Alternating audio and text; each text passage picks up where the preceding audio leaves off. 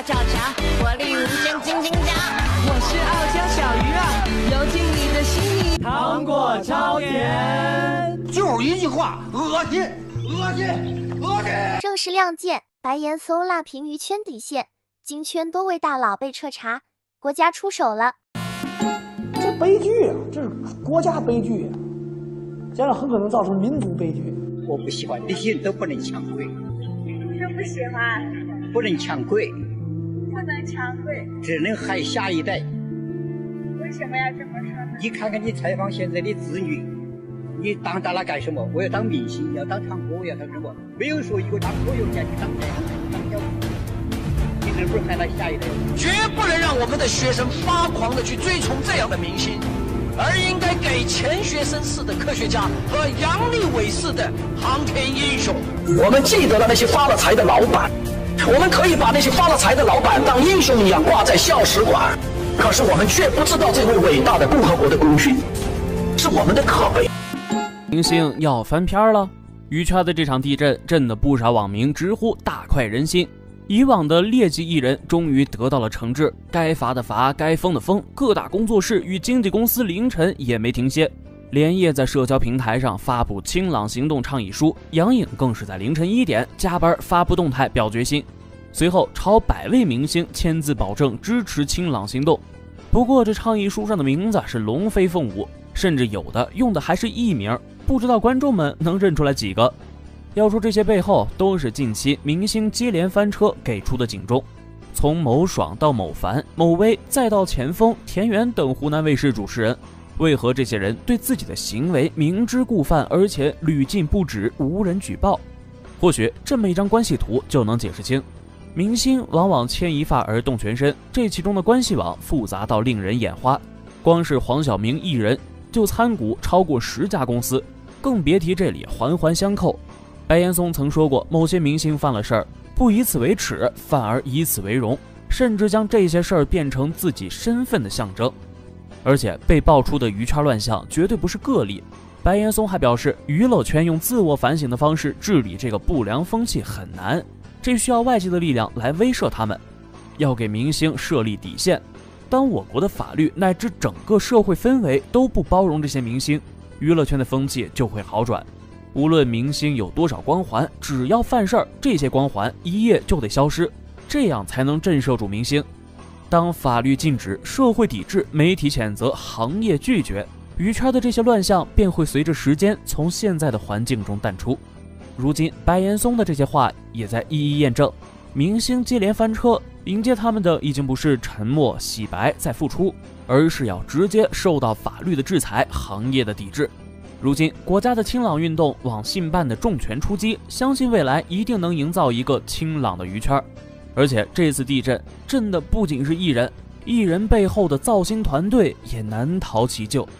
某爽天价片酬背后牵扯出的资本力量纷纷被查，《倩女幽魂》被直接下架禁播后，它的出品方北京文化也被查了。当初日薪二百零八万，一爽被做成了计量单位，高片酬之下是该出品公司不顾限薪令出阴阳合同、财务造假的结果。从董事长到下面的小领导，十七位金圈大佬纷纷被罚，甚至被禁入市场。这种处理结果可谓是大。这市场多拧巴，你怎么可能追求特娘的这种这种男孩呢？因为男孩要阳刚，啊，他要爷们儿劲儿，是吧？啊，现在整体这些男孩让你感觉都有点腼腆，有点俊秀、俊美。然后那个，呃，再加上他们被，呃，给给给给给包装成，对我说这个再说一个，现在这些经纪公司这些经纪人，起了极大的坏作用。一个孩子刚出道，这小小女孩去拍照都要去拍照，比着公司要拿出多少预算来，去拍照，拍了很多修图，哎呀，这个演员都开始。都在修图，每个演员小孩出道演戏的技术没学出来，修图的技术全学出来了。问题是你拿这些照片来给导演看，导演把你本人一叫来，哇天！轻歌曼舞。若只是娱乐至死，则这个国家离危亡时刻也不远了。在娱乐至上的社会，整个国家似乎都在退化。现在伪娘风盛行，更是让整个娱乐圈大变。前不久，中国好声音接到国家通知，被要求停止所有综艺节目的海选活动，而且对国家封禁选秀节目这件事，大多数人还是比较支持的。由于多年来选秀节目的不断出现，让许多人一夜成名的同时，也带来了不良风气。今年将进行专项治理，并让青少年树立正确的三观。需要注意的是，因为这些选秀节目不仅让不少粉丝已经妖魔化，而且让不少未成年人陷入了想要成名一夜爆红的幻想之中，从而不努力学习。这种情况已刻不容缓，伪娘出现已经影响了一代人的审美。如今的男孩子们都喜欢浓妆艳抹、翘起兰花指，真是太娘了。这次国家出手整顿这些选秀节目，不仅可以让一些追寻梦想的年轻人避免遇到这些陷阱，还可以解决青少年无底线追星问题，也可以为孩子树立更正确的价值观。而现在很多孩子从小就立志成为明星、成为网红，因为有些明星和网络名人一天的收入堪比顶尖科学家几年。没有奋斗就没有青春。作为年轻一代，更要筑牢中国梦，应当去祖国最需要的地方奉。那是真的假的？压根儿就没有任何影视作品，只是什么男团啊、女团啊。我现在都不知道这男团是怎么个意思，就是几个人的组合，好像唱唱了几首歌，连唱带跳或者脱口秀，是吧？这是不是都都都属于团？就这些东西，把这市场给搅和乱了。甚至你在电影学院和这个戏剧学院学了四年，不如人这仨月这个这选秀，现在等于是超车了，绝不是我一个人能够扭转的。嗯，看的不合理的也没办法，你说了没有用啊。但是我觉得这栏目里边。我说了一些真话，引起了社会的一些反响。说实在的，我很欣慰。我觉得正义还是占大多数。你准备戏是不是把台词背下来，你就觉得特别美好？然后第二天可以跟很自豪的跟别人说：“我台词背的特别好，我全背下来，一点都没有错。”我真的很遗憾，就是。什么时候我们这个职业变成了背台词都要被表扬的一个职业？背台词是战士上战场的那支枪。你能告诉我，你到了战壕里边，你告诉我我没拿枪？中国好演员的男演员的这个时候呢，我突然提出，我说我有个疑问，就是首先，我觉得这些候选人很多就不是演员，其次。很多就不是男的，他们为什么要参加男演员的评选？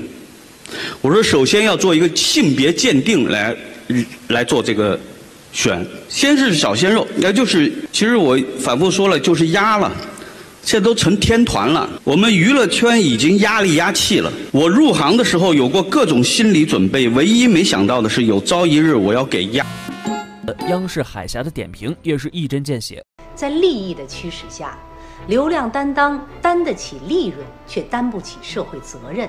偶像养成培养的不是德艺双馨的人才，而是野蛮生长的资本。被流量吹大的商业价值，一夜爆红带来的快感，让这些低质量的明星逐渐迷失了自己，把艺德素养这些事儿抛在了脑后。但这背后是什么人将他们包装了出来？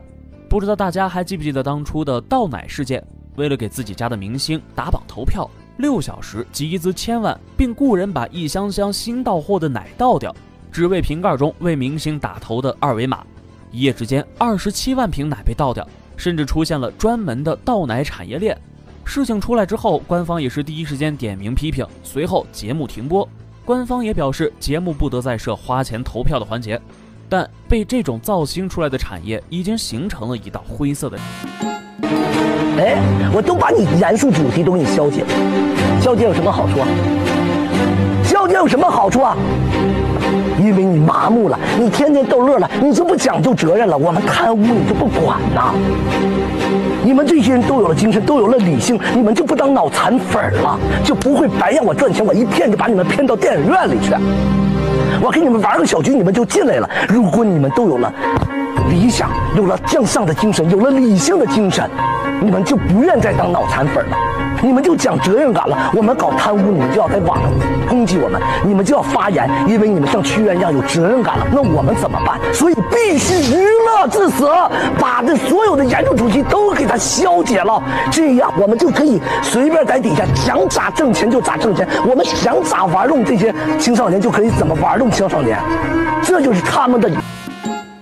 我告诉大家，也不知道是什么历史老师给你们教的，以为清朝当时的败落，甲午海战，我们整个的败落是我们国家穷，不是的，是太富了，是太有钱、太奢靡，让我们这个国家垮了。大家注意，当时清朝的总产值是比现在的美帝国主义还要厉害啊，是英国的六倍，是日本的九倍啊，同志们。你想，他要是真的把钱弄来建设国防，他会落到今天的地步吗？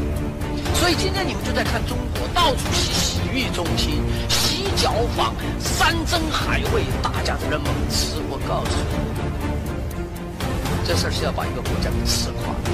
大学是要崇尚理想主义和民族责任的，不能把这些所谓发了财的精英当成精英，弄到学校的讲坛里面来，看到这些孩子们发狂的去追求他们。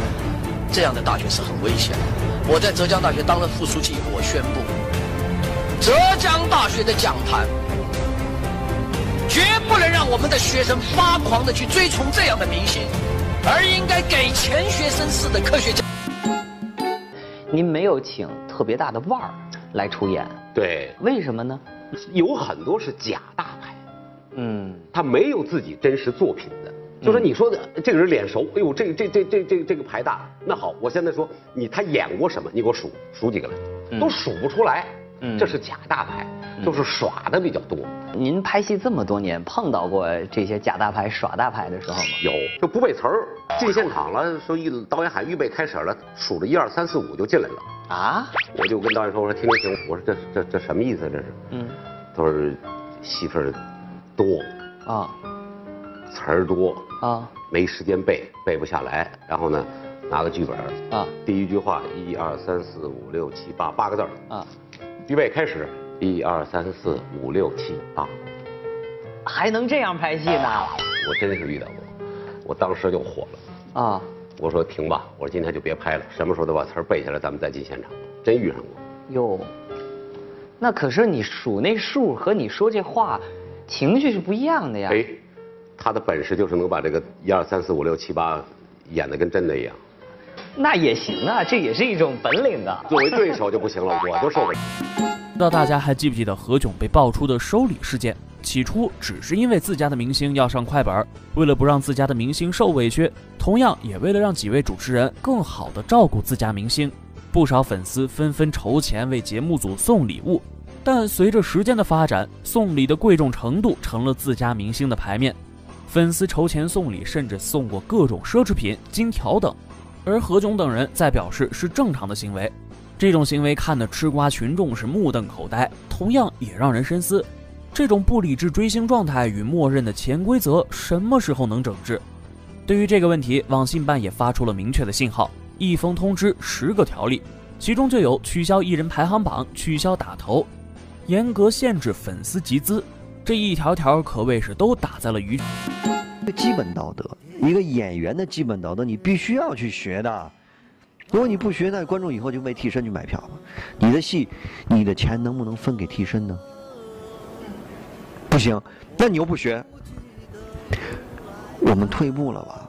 以前老一辈的演员们上山下乡、下部队体验生活，怎么现在好像去？体验生活、感受角色，成了一种崇高的、伟大的一个、一个、一个、一个巨大的付出了呢。我们退步了吧？让你演武打片，你拿个剑像个烧火棍子一样，什么玩意儿？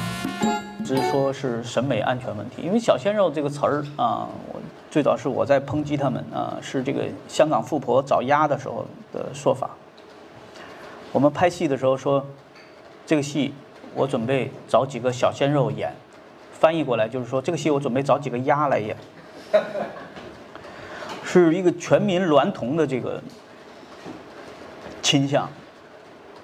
在审美上，我觉得先进的呃国家，特别是欧美的，呃强势的、强力的国家，它一定是有很强的雄性意识，它的男演员很重要，甚至是国家意志的体现。如果我们国家的主要的男演员，就是最红的男演员，是一些不男不女的人。是对于我们国家就是审美上造成审美安全的威胁。他们可以存在啊，现在多元化，他们可以存在，他也有他的空间，但是你不能给他们讲，不能去鼓励年轻人往这个方向走。啊，他们是原来的审美的一个补充，我觉得没问题的。整个国家去追捧这么大一个大陆国家，我们不是那些岛国。我们国家可以没有偶像剧，虽然我也做过偶像剧。偶像剧是一些岛国、半岛国，呃，人造的偶像。按照现在的这个工业化、商业化的这个标准去造的。美国永远是汤姆·汉克斯、达斯汀·霍夫曼，啊，包括像小罗伯特·唐尼这样的演员，雄性意识很强的。是大家的呃年轻人的偶像超人儿，这些人，嗯，再不重视这个问题，我觉得是很危险。